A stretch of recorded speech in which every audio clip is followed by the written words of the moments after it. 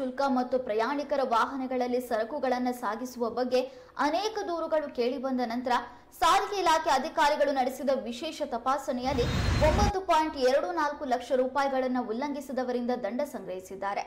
Contract carriage ವಾಹನಗಳು, omni ಬಸ್ಗಳು, ಅಖಿಲ ಭಾರತ ಪ್ರವಾಸಿ ಓಮ್ನಿ ಬಸ್ಗಳು, ಮ್ಯಾಕ್ಸಿ ಕ್ಯಾಬ್ಗಳಲ್ಲಿ ತಪಾಸಣೆ ನಡೆಸಲಾಗಿದೆ.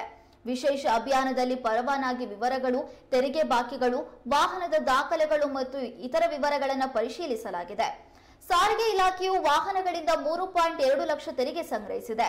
ಪರ್ಮಿಟ್ ಉಲ್ಲಂಘನೆಯ ನೂರ ಎಂಬತ್ತೊಂಬತ್ತು ಪ್ರಕರಣಗಳಿದ್ದು ಮೂರು ವಾಹನಗಳನ್ನು ವಶಪಡಿಸಿಕೊಳ್ಳಲಾಗಿದೆ.